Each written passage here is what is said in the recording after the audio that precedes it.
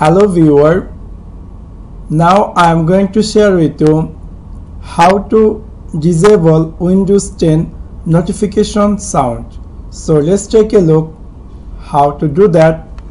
Simply click here this speaker icon. Right click over there and you will see option will appear.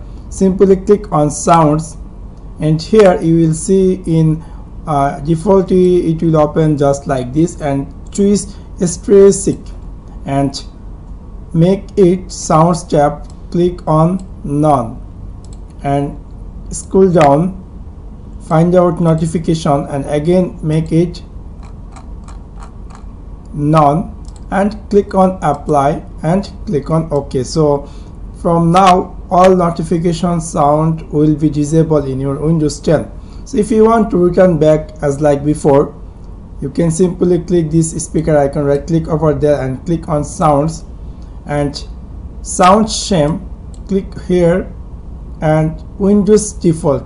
Choose windows default and click on apply and click on ok. So it will return back as like before.